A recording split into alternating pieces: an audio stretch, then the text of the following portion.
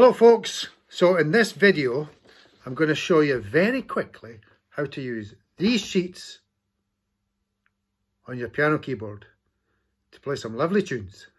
Okay, here we go. So here's a first wee example of a tune, Ally Bally Bee, um, otherwise known as Coulter's Candy. Um, and you'll see on the sheet we have some letters at the bottom here. And then this is the rest of a keyboard, a simulated simulation of a keyboard, uh, just like we have here. And here we have the notes in order to play the tune. And uh, the numbers up above are an idea of which fingers you should perhaps use. So here's number one, two, three, four, and five. So not all the sheets have fingering marks, but um, some of them do. Um, and you will notice that these ones are quite well spaced out.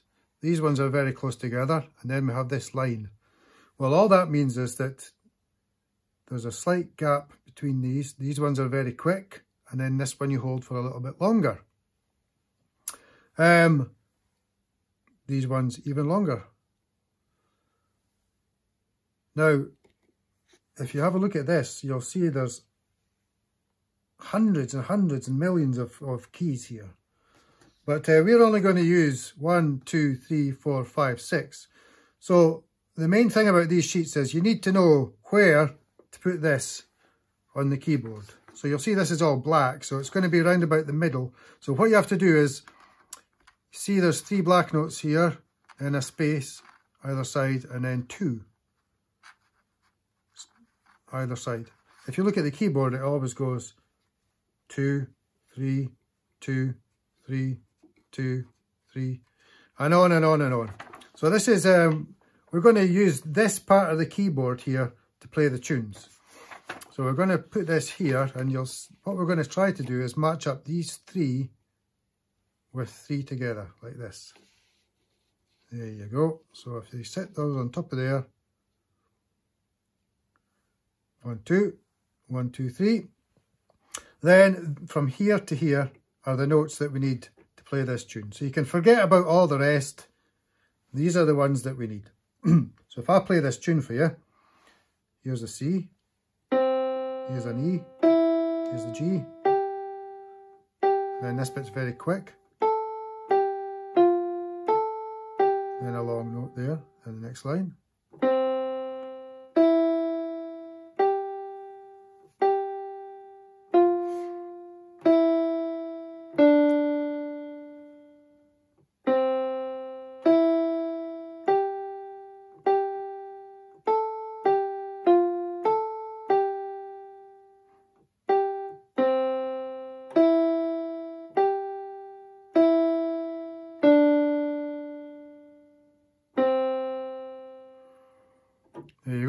That's the idea of how to play, how to use the sheets.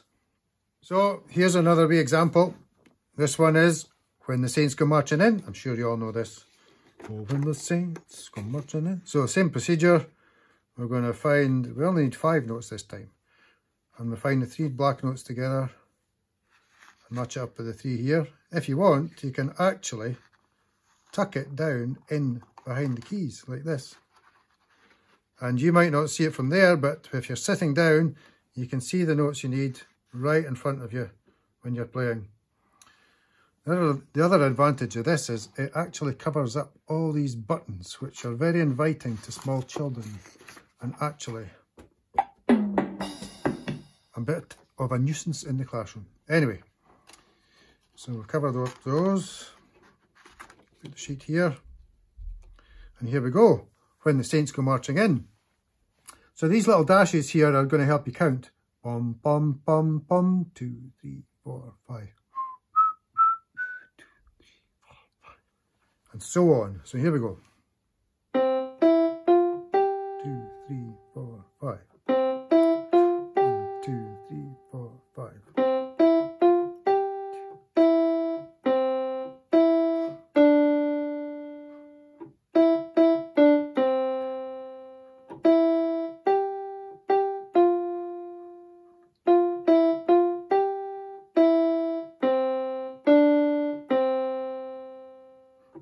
There you go. So the numbers, as I said, are there to tell you which fingers to use, but in the very beginning, you might want to forget about that. And there's enough to think about with just matching up the, the letters. Anyway, you can work up to doing it with the, all the correct fingers.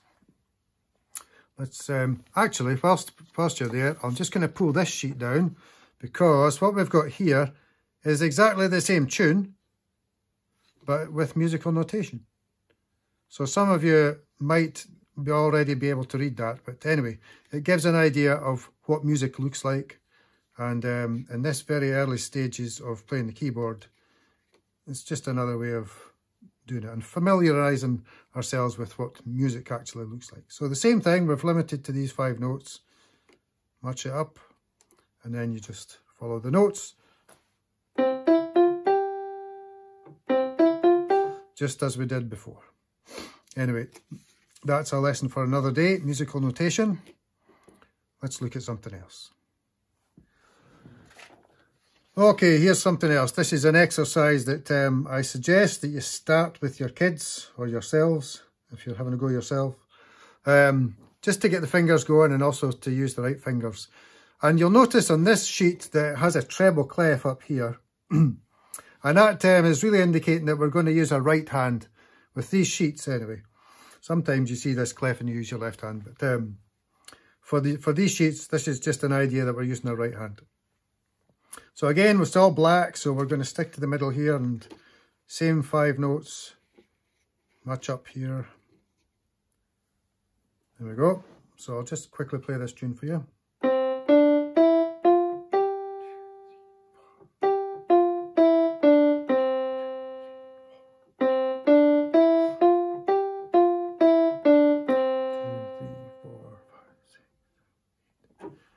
You go. And I would suggest that you tell your kids that they have to do this at the start of every lesson.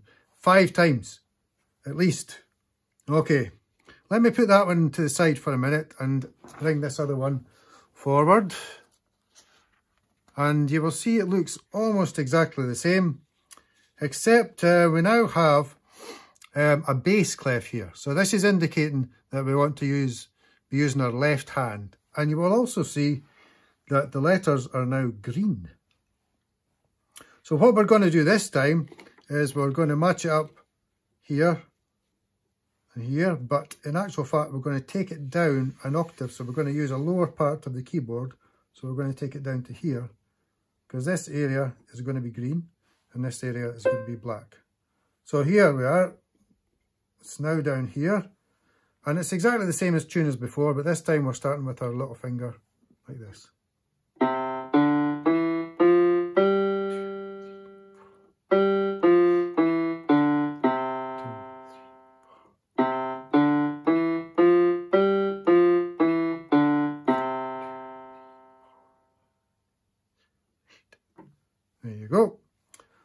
That's showing you what the difference between the bass clef and the treble clef. And an introduction to the different colours that we're going to use here. So for this wee clip, you'll see that I've um, I've laid out all the different colours we use for all the different octaves of the keyboard. Um, you'll notice that uh, we started in the early examples with this these black keys here this is the octave that we use probably most. Um, some, some of the melodies, they might dip into the green area and they will possibly go right up into this blue area here. Um, as yet, I don't think there's any that go beyond that. Um, and often when we start using our left hand, if we're going to be playing with two hands together, then we might go right down into this red area here. Um, but for this um, particular um, keyboard method, these are the colours that we're using for this program. So red, green, black and blue. So that's just um, to show you how it's all going to work once we start using some of the more complicated sheets.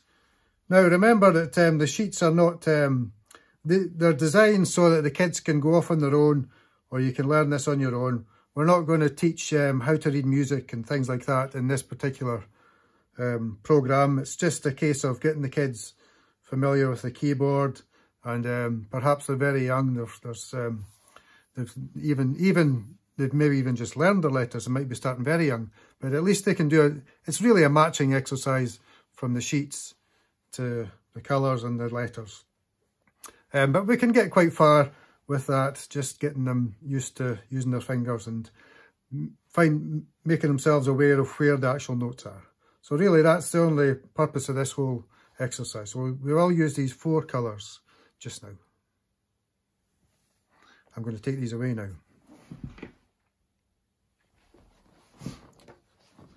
So here we have um, the C major scale. Oh my goodness. So you'll notice if I put this using our method, get the three black notes and the two, you'll notice here that we all of a sudden we have one blue um, letter. We need to have a blue one because there are black C's in this and there are also blue ones. So we need to identify the, the difference between a black one or a low one and a high one. So here um, I'll play the C major scale.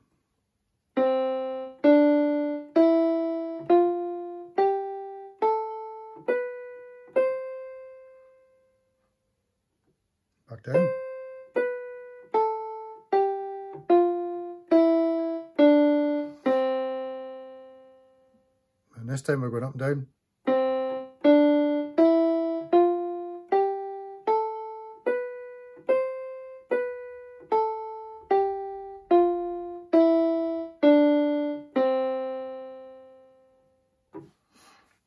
There we are.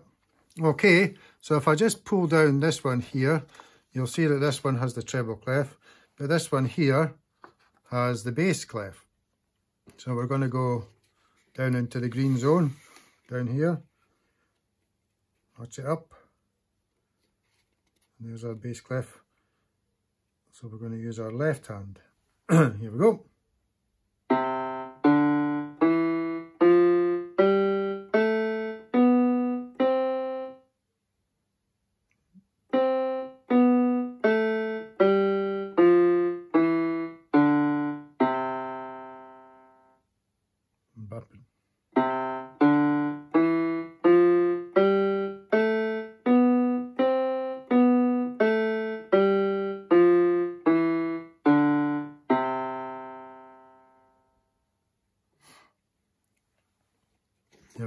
That's your C major scale with your right hand and with your left hand.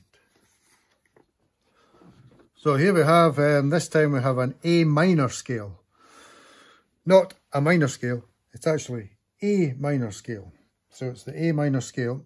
So here we have a treble clef. Um, so that means that's a right hand. And this time we're going a bit higher. We're going to way up into the blue zone. And the other thing to notice here is that this particular tune has this hashtag symbol here, which in musical terms is called a sharp. And a sharp um, just as a note that um, raises one of these notes by a semitone or takes it up to the next note, which is usually a black note, but not always. So here we have a G sharp. Can you see that there? There we are.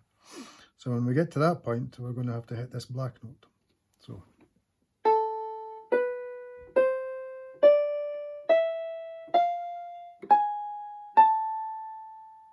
Back down.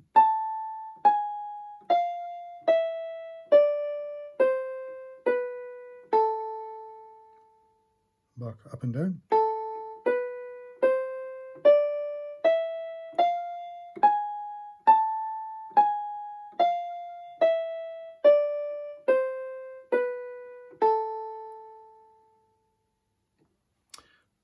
I've just noticed that there are three dots missing from here. I'm going to have to go and fix that. Anyway, that's the minor scale, which is introducing the sharp sign. Okay, okay. So when you get into the pack of all the tunes that are up there, which will get added to regularly, hopefully, that's the plan anyway, you will find that there's some, a lot of exercises and scales, but also some tunes that the kids um, probably will quite enjoy playing. And here's a tune called He's a Pirate from the, it's a theme tune from the Pirates of the Caribbean. And um, so this one here is going to introduce this sign here, which looks like a slightly uh, deformed letter, B, uh, or B, um, and that's called a flat sign. And what that does is the opposite to a sharp sign, that takes a note and it takes it backwards by one step. So here's a B, so this note here is going to be B flat. So again, another black note. So if I put this all in the, the right place, um, these are all black notes. We only need one, two, three, four, five, six, seven notes here. So when I play this tune, we're going to follow this pattern here, obviously, as we did before. And then the first time, we're going to go all the way to here. Now this, these double lines and the dots mean that we have to repeat everything there. So we go back to the beginning and we play it all the way through. But the second time, instead of playing this line, we play this line. Okay, so I'll show you what I mean. So here we go. Pirates of the Caribbean.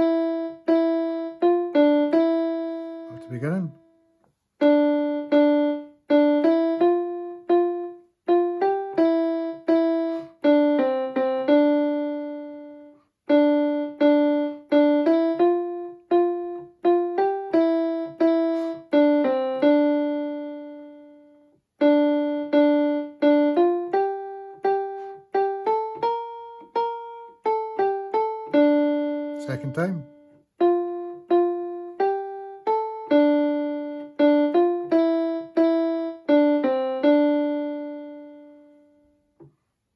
There you go. So, most of the tunes will be tunes that the kids are aware of. They'll know the tune. So, although this um, these little dashes and gaps are there to help you with the rhythm, uh, they're not an exact science, so they just give an idea that there's a little gap here. Um, but hopefully the kids will know most of the tunes, and so rhythmically we're not really teaching them anything to do with rhythm. Okay, so here's another example. Um, this is slightly more complicated. You'll notice in this tune, you can't shove your granny off a bus. That we have um, black notes, we have green notes, and we have blue notes. So we're going to span slightly more of the keyboard here. We'll match up our three notes here. Black notes. So we're going to go right to the green zone and the blue zone but mostly in the black zone. So here we go. So this is a little bit more complicated now. It takes a wee while to be able to follow this. Anyway, here we go.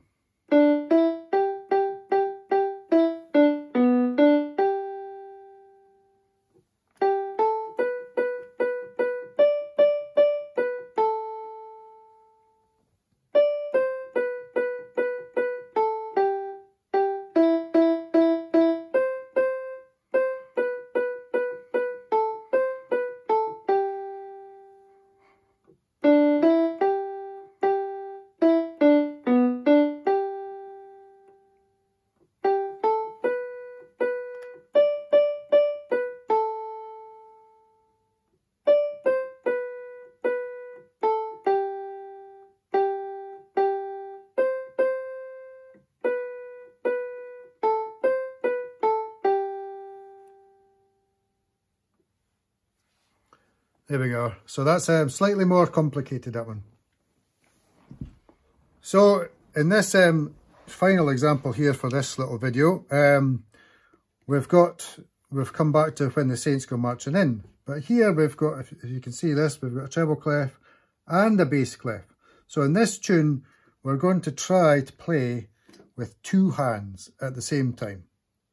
So uh, behind here, I have another sheet which says when the saints go marching in left hand. So what we're going to do here is we're going to put this, match it up here like this in the black zone and then this this bit here we're going right down to the very bottom. This is the red notes, the red zone, which was down here, if you remember. So we're going to put those notes there. And this one here. And hopefully, if they've all practiced the tune well enough, we can maybe start adding in these three notes. Only three notes for the left hand, mostly C's. One part where it goes to G here, back to C, and then F, and then a quick GC at the end. So we can get our fingers on the right place here. Um, but this is quite a challenge to get both hands together, but I'm sure they will get it with a bit of practice. So whenever we get to this G, we're going to hit this C at the same time. And we're going to hold this C. Um, so every time we get to two notes together, we're going to hit the two notes together, like this.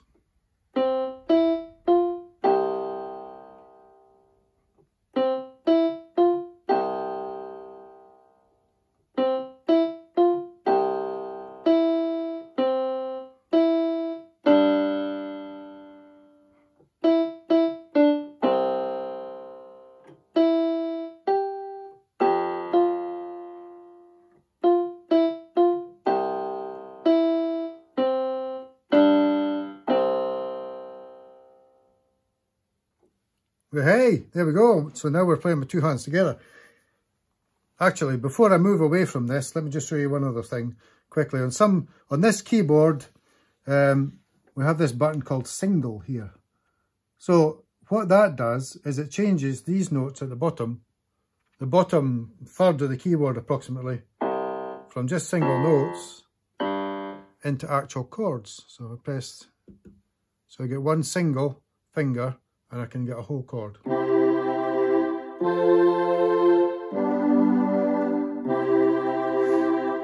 So it makes it a nicer sound for the kids. So if I put this back here, um, and I'll show you what I mean, if I play the two together.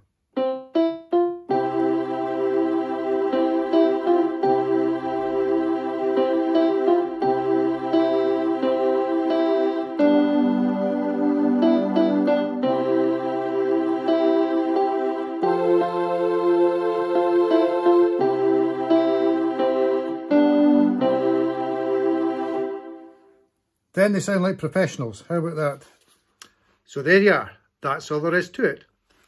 All you need to do now is find some time to do a bit of practice and get your hands on some of these sheets. You will find these sheets at the YMI Making Music channel in Microsoft Teams. Here,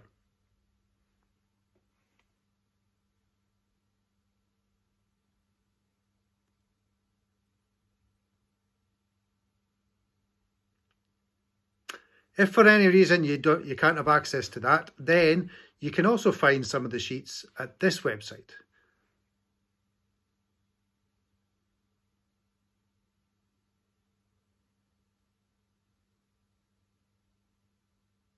Okay, away you go and have some fun. We'll see you again soon. Bye for now.